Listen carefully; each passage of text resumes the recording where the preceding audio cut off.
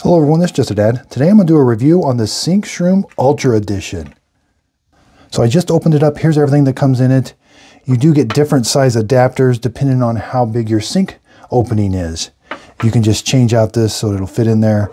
But this is the size for mine and it just fits in there. Just see how it's going to push down a little bit and now it sits there. Now when I run water and hairs go down there, they're going to get caught it drains really good, but I can take this out once in a while. I will have to take this out and clean that out.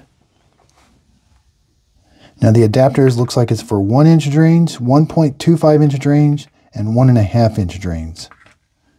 I hope this video helps. Thanks everybody for watching.